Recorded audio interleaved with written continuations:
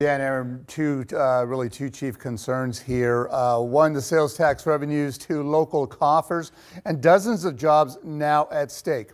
Once the preeminent toy seller, the company saddled with debt and bankruptcy really couldn't keep up with the big box stores and online competitors. Locally, there are stores in Gilroy, Santa Cruz, and Salinas that are slated to close. In the Salinas store alone, that store has been one of the top 25 producers for sales tax revenue over the last two years.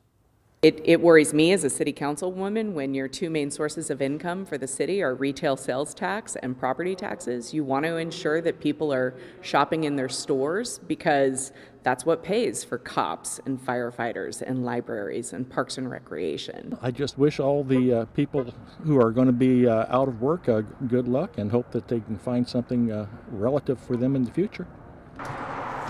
And despite the weak sales at Toys R Us stores worldwide, the uh, toy chain was a big revenue generator, as I mentioned, for the city and Northridge Mall in Salinas. The city's finance director, Matt Pressey, said it will be difficult to make that up, but the city will be actively engaging in efforts to fill this void. And then there's the dozens of jobs locally. No word yet from Toys R Us what they plan to do to help employees with the transition, but really, Dan, Aaron, the end of an era here for Yeah. uh, many people who walk through those Toys R Us stores, including me. Yeah, absolutely. Including you know. both of us many times, yeah. And, and, and then there's the Babies R Us stores. The too. Babies I R mean, Us, you know, that's which is also a very big deal. Yeah, Yeah. absolutely. All right. So- Thanks Right, very thanks, much, Felix. So as for the Babies R Us, the company will also be closing or selling those stores here on the Central Coast. That's what we're being told.